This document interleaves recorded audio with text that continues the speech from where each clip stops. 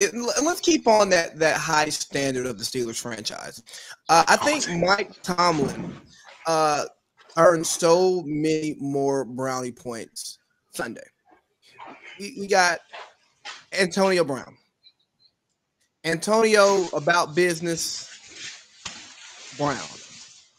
Antonio the jackass Brown. So, Sorry, guys. I just saw that I was uh, underdressed for this conversation. Well, uh, so I had to go ahead and uh, put some, something on that you know mimics something, so we can have an appropriate conversation. That, so that's it's, it's Juju's number, but uh, it's a custom made jersey. We don't we don't we don't support TikTok fans here. Rose Steelers fans, we don't we don't support that uh that uh TikToking before games just to get hurt and, and things like that. So that's, it may be his number. Whole damn wide receiving corps. So uh, well, it's not. Let be real quick, guys. So Antonio okay. Brown has a track record, and there are some parts of his track record that I'm not going to get into, and there's some that I want to talk about. Um, he turns back on the Pittsburgh Steelers that last season. There, they were still fighting for a playoff for a playoff spot, and he acted an ass. Excuse me, he acted a jackass because that's me as a jackass, and he got sent home by Coach Tomlin. Uh, if you go back before that, he records Coach Tomlin in the post game or Facebook Live jackassery. Uh, going on going on live talking crazy about his baby moms, yo, that's jackassery. Like you can feel that, but doing that on social media is jackassery. Tossing yeah. furniture off the 14th, 14th floor, that's jackassery. Um, going to a cryo chamber with wet feet, that is jackassery. Trying to sneak a helmet that you know is not legal is jackassery. Okay, when he finally got let go after calling his GM a, a, a, racial slur, and he ended up having to give back his signing bonus, jackassery. You know, he, he just has this this long line of jackassery. Like he doesn't pay people for providing services. Jackassery. The the COVID card thing, I, I, don't really care about that. It's a lot of people that have fake COVID cards, and he's not the only one in the NFL. But because he didn't pay anybody, he's the one that got caught. Then yep finally, here comes the time where we should show some remorse for Antonio Brown. If what was reported was true, that he went out there, he tried to he tried to tough through an injury that he'd been sidelined for prior to his suspension. He was really only he, he lost pay for three games, but he was only going to play in one of those games uh, because of the injury. He toughs it out. He doesn't practice this week.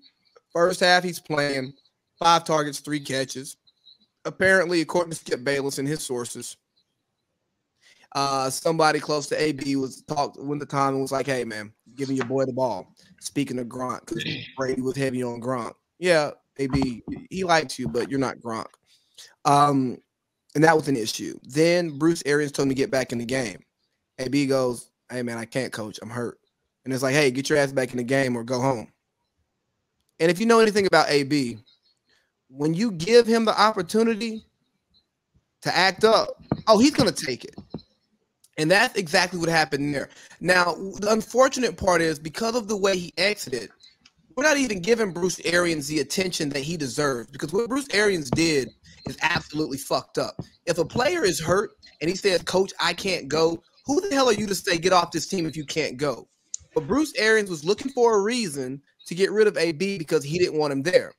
But the problem is, AB has cried jackass so many times that the time that he actually deserves remorse, we can't give it to him because what does he do?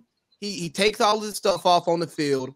He, throws his, his, his his gloves. He throws his undershirt into the stands, and he's doing jumping jacks in the back of the end zone, looking like a darn jackass. So I, I really hate that, you know, that this has happened, but uh, we can't sympathize with him because, for one, he's been enabled for so many years. The, the Steelers enabled it because he was great. The, the Raiders enabled behavior because he was great. The, the Patriots enabled behavior because he was great. Tom Brady enabled his behavior because he was great. But now the greatness is running low and the behavior is running high. And, and here's my one issue, though for all of these people on TV who are trying to say, is it CTE? He needs the mental health. It was it like, bro, get out of his head evaluate what you see and comment on it. Because guess what? Even if it is mental health, it is your responsibility to manage your mental health. If, if, if, if I go shoot up a school, if I go shoot up a park, if I just shoot up my apartment complex right now and I cry mental health, guess what? I may not be in prison at first, but I'm going to be in a psych ward because I could not control my mental health. Okay. And, and, for y'all to try to get in his head and then paint him as this mental health victim and you don't know what's going on, shut up.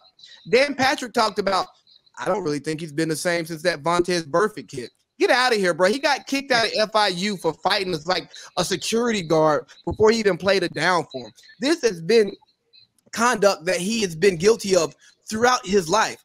I, I can't sum AB up as anything more than like a nigga who know he good, who's been who's been enabled because he was good his entire life and it's finally ran out.